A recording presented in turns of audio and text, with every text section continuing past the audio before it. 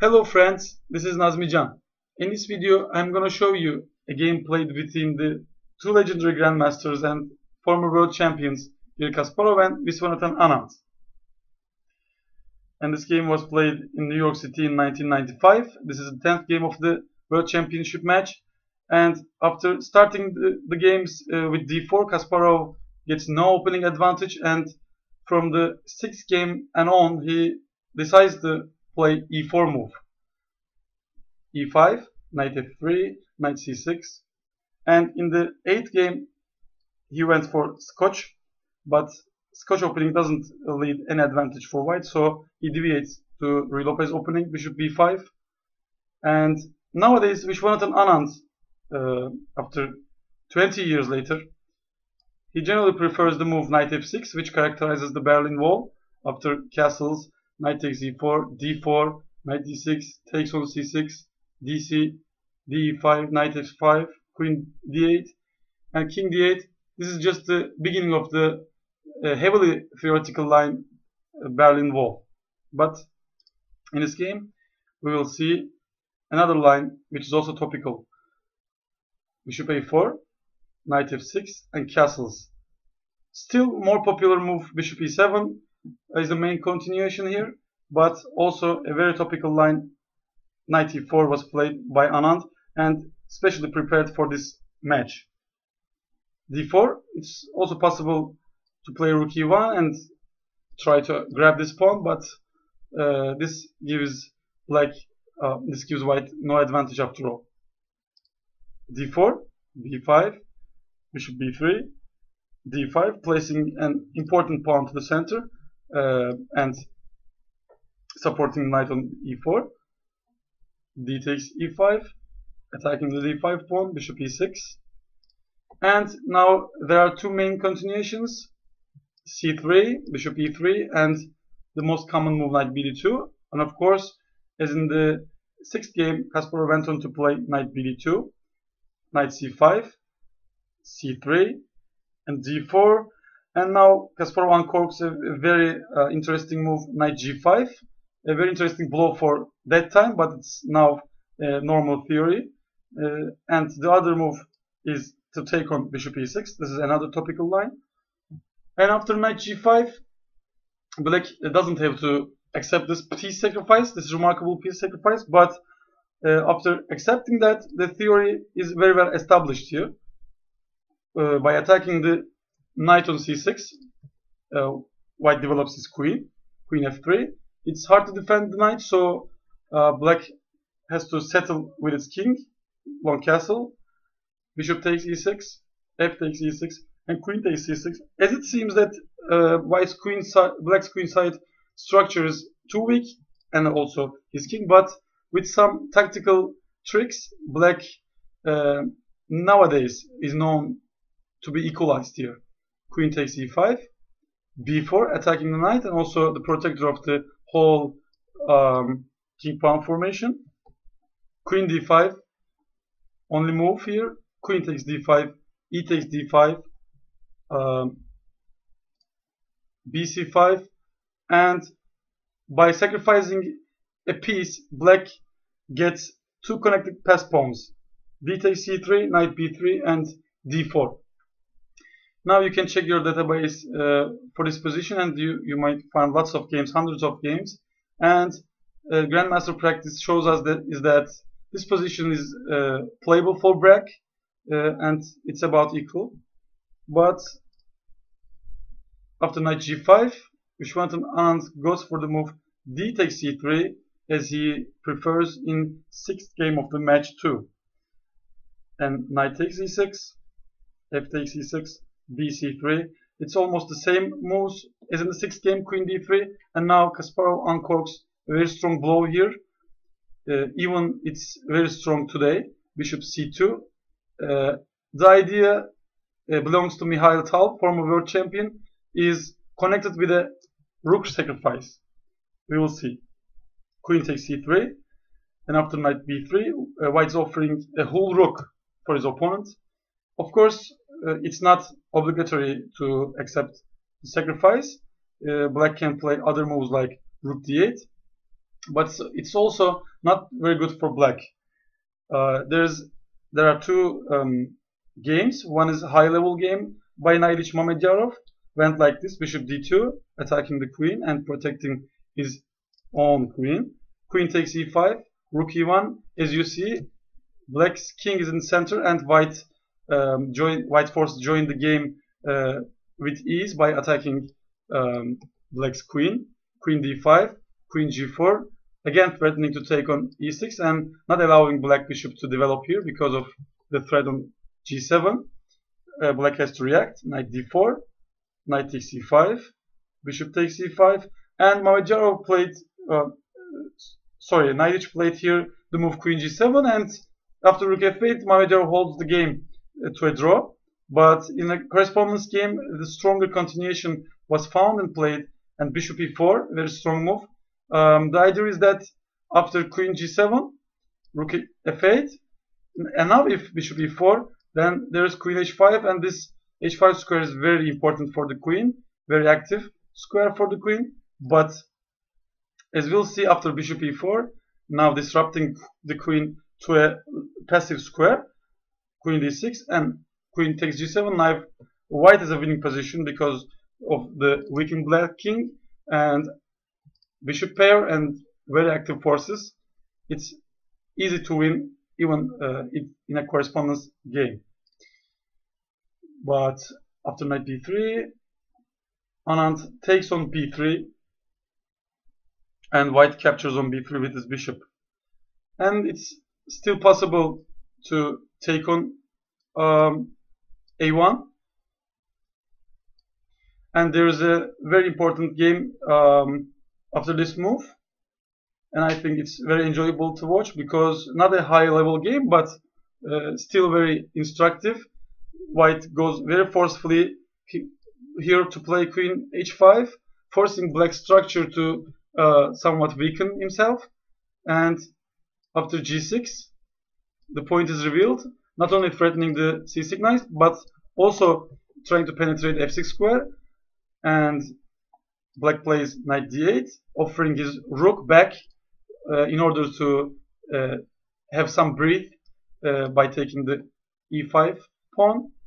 Let's say after queen takes queen takes e5 black can develop his bishop and castle hopes uh, of survival. But after knight d8 white doesn't let the opponent go. Queen f6 a very strong move. Again at attacking the uh, h8 rook and also trying to attack the e6 pawn. Rook g8 was played.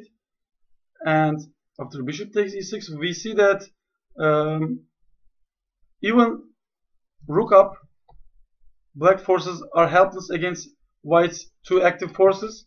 And bishop will uh, about to develop on a3 and the game rook g7 was played and after bishop a3 double attack threatening mating 1 here and um, threatening take the queen. And uh, if queen takes f1 king takes f1 is no help because you cannot take the a3 bishop because of the hanging piece on g7 a long line so Anand prefers to play knight d4 move and Kasparov is still in preparation and plays queen g4 calmly and immediately. Queen g4, offering the rook again, and this time Anand sees no point not by not accepting the gift, so he takes the rook by queen takes a1, and bishop takes e6 threatens bishop d7. It's very hard to accept the challenge because uh, easily white wins after bishop g5, threatening mate and the queen on a1. So it's over. So Anand went for rook d8. Another move can be seen by queen c3 and this shows us the strength of the move bishop d7 king f7 bishop e3 a very important move because the knight has no retreat square as you see the all the squares are covered and this this this knight is also master of the e6 square uh, else black uh, gets made after queen e6. So he has to react exactly. Bishop c5. and e6 check only move king g8 and one and last uh, critical move is queen e4 very strong move attacking the rook and trying to play e7 finishing the game off because the king is uh, unluckily situated there uh, which is about to be mated on d5 and the uh, white pawn is about to queen.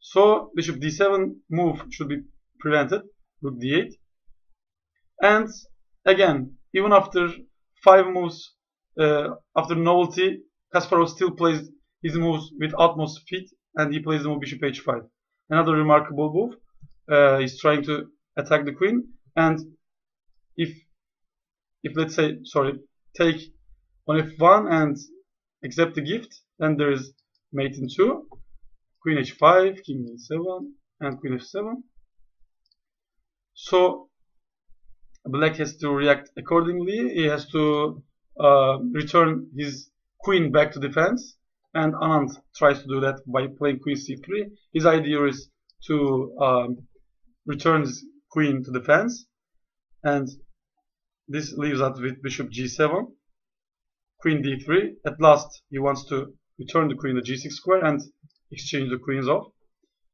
bishop h8 and queen g6 and after um, many adventures in the opening it seems that white is a pawn up. And even after exchange of queens his advantage uh, will continue. Bishop f6 attacking the rook. Bishop e7 bishop takes and after exchange of the queens king e7 there arises the last and uh, one of the most crucial points of the game.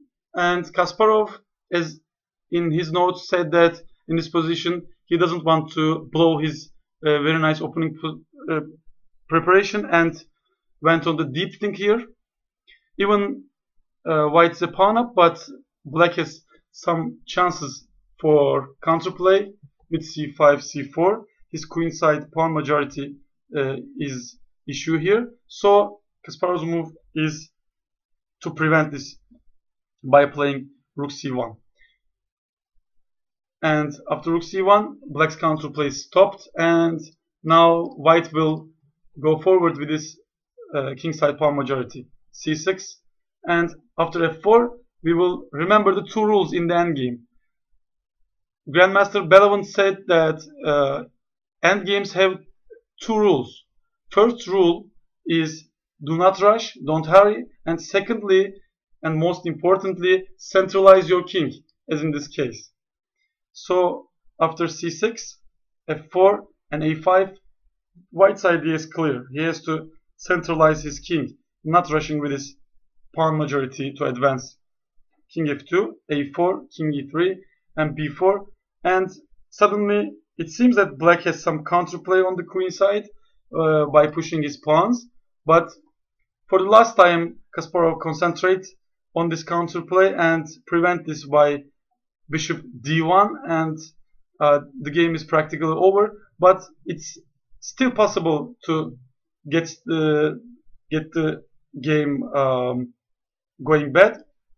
Let's say like playing rook c4 double attack it seems a strong move but you may stop your video and try to figure out how black can get some counterplay after this move.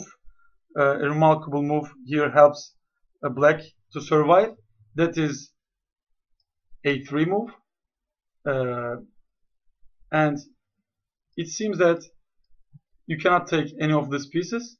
If rook takes d4 rook takes d4 king takes d4 with huge material advantage.